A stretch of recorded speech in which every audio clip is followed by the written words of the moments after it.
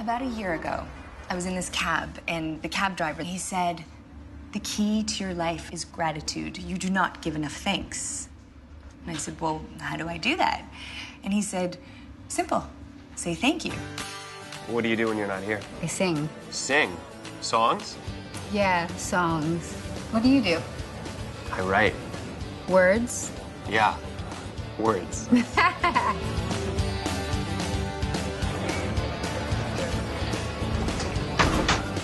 this kid got separated from his mom on the train. We'll take him to the police station.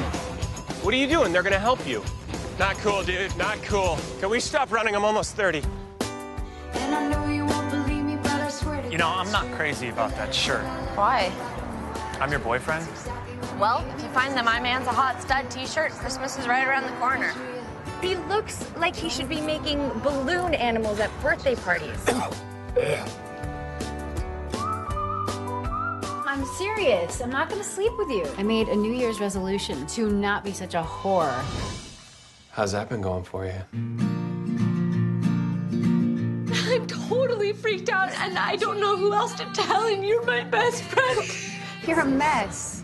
I'm a mess too. So let's clean each other up. Can I have a cookie? Dude, it's a party. You can have like 10 cookies. You can't just keep him. He's not a goldfish. Is he feeding you? What are you eating? Don't answer that. My great shame as a writer is that I'm just this suburban kid with good parents. Hardly Dickensian. You know what I'm saying? Totally. It's not easy to be adored. You're worth that adoration, Annie. You're worth it.